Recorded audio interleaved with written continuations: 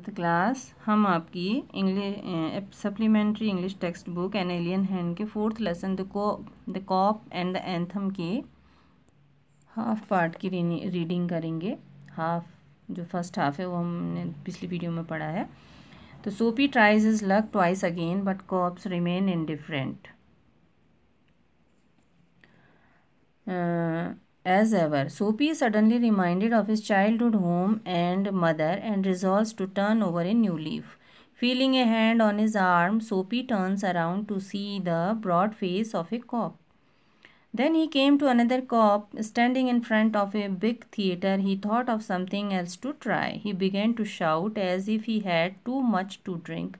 His voice was as loud as he could make it. He danced, he cried out and the cop turned his back to Soapy and said to a man standing near him, It is one of those college boys. He won't hurt anything. We have orders to let them shout. Soapy was quiet. Was no cop going to touch him? He began to think of the island as if it were as far away as a star. He pulled his thin coat around him. The wind was very cold. Then he saw a man in a shop buying a newspaper. The man's umbrella stood beside the door. Soapy stepped inside the shop, took the umbrella and walked slowly away. The man followed him quickly. My umbrella, he said. Oh, is it? said Soapy. Why don't you call a cop? I took it, your umbrella. Why don't you call a cop? There is one standing at the corner. The man walked more slowly. Soapy did the same, but he had a feeling that he was going to fail again. The cop looked at the two men. I, said the umbrella man, that is, you know how these things happen. If that's your umbrella, I am very sorry. I found it this morning in a restaurant. If you say it's yours, I hope you will. It's mine, cried Soapy with anger, with anger in his voice. The umbrella man hurried away. The cop helped a lady Across the street, Soapy walked east. He threw the umbrella as far as he could throw it. He talked to himself about cops and what he thought of them. Because he wished to be uh, arrested, they seemed to believe he was like a king who could do no wrong. At last, Soapy came to one of the quiet streets on the side of the city. He turned here and began to walk south toward Madison Square. He was going home, although home was only a seat in a park. But at a very quiet corner, Soapy stopped. Here was his old childhood home. Through one window, he could see a soft light shining. That had been his living room where he had spent many happy, peaceful moments. Sweet music came to Soapy's ears and seemed to hold him there.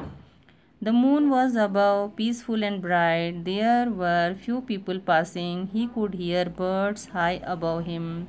And the music that came from the room held Soapy there, for he had known it well long ago. In those days, his life contained such things as mothers and flowers and high hopes and friends and clean thoughts and clean clothes.